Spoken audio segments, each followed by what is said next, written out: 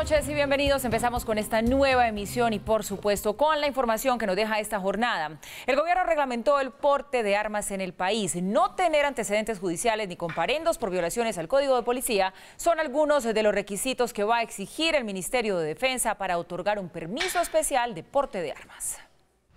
En Colombia hay 339.160 personas naturales con permiso para portar armas, pero solo 6.827 de ellas lo tienen activo. Las otras 332.333 lo tienen suspendido por un decreto de la presidencia que lo prohíbe. En diciembre Duque expidió la medida, pero le pidió al Ministerio de Defensa fijar unas reglas para las autorizaciones especiales.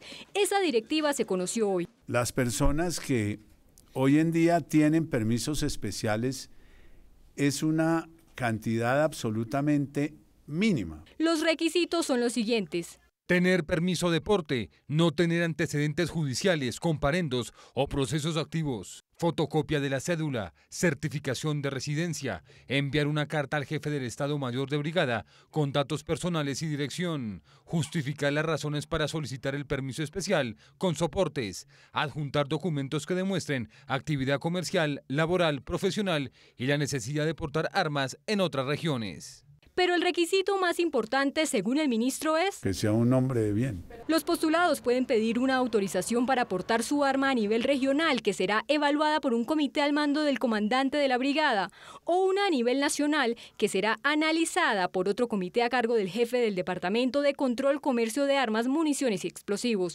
Según la normativa, cada tres meses el Comando General de las Fuerzas Militares evaluará el desempeño de ese comité, no el comportamiento de quienes obtengan el permiso. Nosotros creemos que eso va a ser otorgado a, gente de bien, o sea que no veo, no veo esa necesidad. La directiva también elimina las excepciones a ministros, concejales y funcionarios del Ministerio de Defensa, quienes ahora tendrán que hacer la solicitud para obtener un permiso especial.